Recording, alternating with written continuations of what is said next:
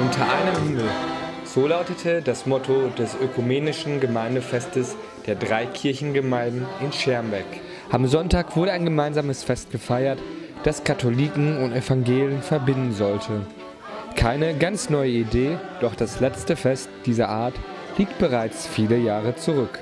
Wir hatten ein gemeinsames, also das ökumenische Fahrfest hatten wir, ich schätze mal, so ungefähr vor 20 Jahren.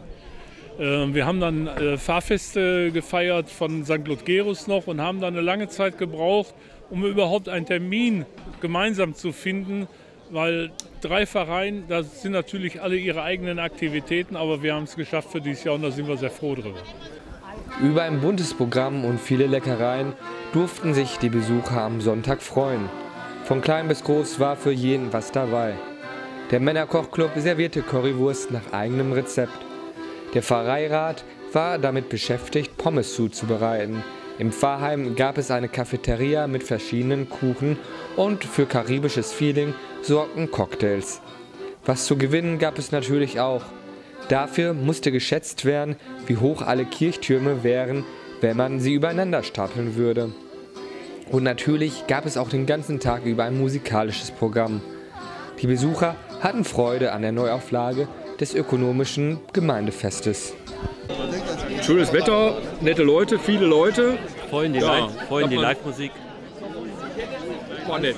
Wir haben ja auch ganz, ganz tolle Musik gemacht und wir warten jetzt auf den neuen Dirigenten, weil gleich gibt es ein Rudelsingen, wo wir alle mitsingen können. Darauf warten wir. Was wollen wir mehr? Die Sonne scheint, der Gottesdienst war schon heute Morgen spitzenmäßig schön, alles super, alles ganz toll. Ich habe die Cocktailbar und die wird sehr gut angenommen. Wir haben verschiedene Cocktails und wie man sieht, der liebe Gott, der spielt mit. Schönes Wetter, kein Regen. Das wäre ja katastrophal gewesen.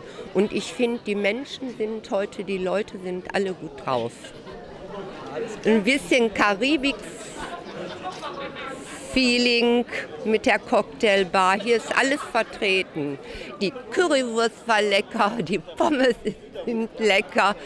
Kuchen habe ich noch nicht gegessen, da kann ich nichts zu sagen. Natürlich durften auch die Kinder nicht zu kurz kommen. Von einer Hüpfburg bis zu einem spaßigen Mitmachprogramm wurde einiges geboten. Das Fest hatte sich als Ziel gesetzt, Konfessionen miteinander zu verbinden. Wie es am Sonntag aussah, ist dies bestens gelungen. Wollt ihr wissen, was in den Schatzkisten drin ist?